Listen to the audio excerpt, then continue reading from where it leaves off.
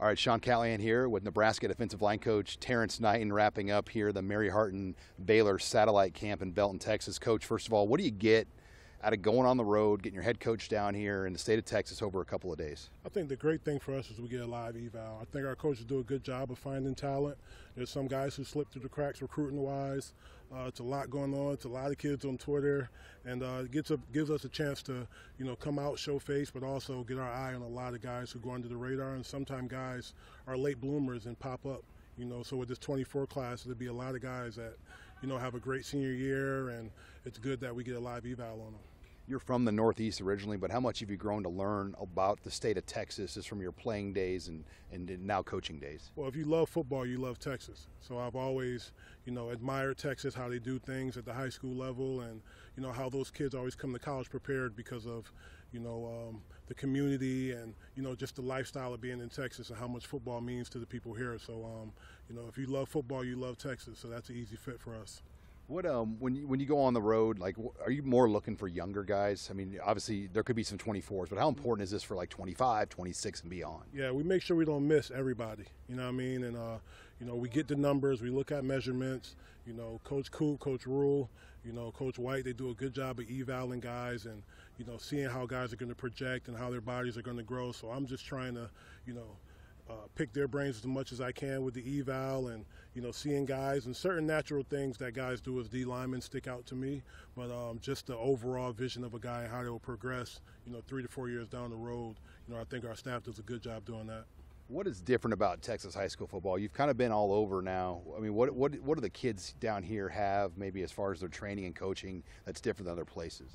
that's it. Football is life. Football is life, man. And you know, recruiting and having the athletic period, practicing and doing extra lift. Those guys work out three to four times a day. And you know, a lot of guys don't work out till they get to college. You know, and then where I'm from, you know, guys transition to basketball and do other things, but guys here they play football all year round. So, you know, those guys tend to come in ready, like I said before, and um, you know, those are the guys that impact teams. And you know, you look at any successful program around the country, you know, they have Texas guys. So, um, and you look back in history Nebraska football, has always had Texas guys. So we're going to make sure, you know, that Texas is home for us as far as recruiting. Now, you guys will have about just two months with your team back in Lincoln before fall camp starts, which is hard to believe. You guys open up at the end of July. Uh, what do you want to see out of your group? You've got a lot of young talent, Cam Lenhardt, guys like Princewell, uh, that could factor for you as, as true freshmen. Yeah, right now they're just coming together, you know, building that brotherhood. Um, and you can see it day by day. The guys like hanging around each other and uh, just generating that camaraderie before camp because camp is going to get tough. And as long as those guys stick together and continue to work hard, man, we, we want to play eight guys, play as many guys as we can, and attack guys in waves. So we need all our guys to be ready, all our guys to be locked in. And whether you're a starter, backup, or you know a situational guy, you got to be on top of your game. So um, it's good that the guys are starting to hold each other accountable, and it's not coming from the coaches. You know, Ty Robinson, you didn't have him on the field in the spring, but how big is he as a leader, a voice in your room? Yes, he did a good job during the spring of staying involved. You know, coaching the guys.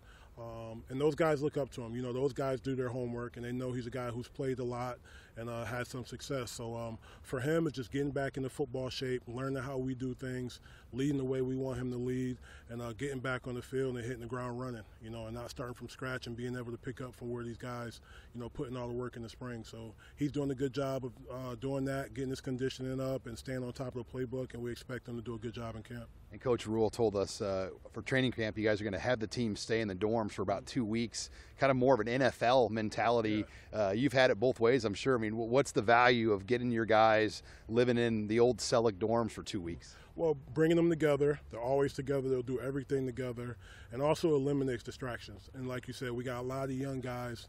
You know, it's a lot of things will be going on on campus. People moving in, different programs, but our guys will be focused only on football, and uh, that's the biggest thing right now. Is just make sure we eliminate distractions and like you said, the season's right around the corner, and before you know, we'll be taking off to Minnesota, and it happens quick. So we got to make sure we're ready. Had Coach Rhule done that at other places like Baylor or Temple where the team was on campus in dorms, or is this something that he's going to try at Nebraska? Yeah, in the NFL, we actually traveled, so it was good to get away, you know, from get away from home. And like I said, whenever we traveled to South Carolina when we were in Charlotte, you know, it brought the team closer together, and we always felt like we were ready for the season. And um, you know, getting in that heat, getting in that sun, and those guys grinding together, that's what it's about.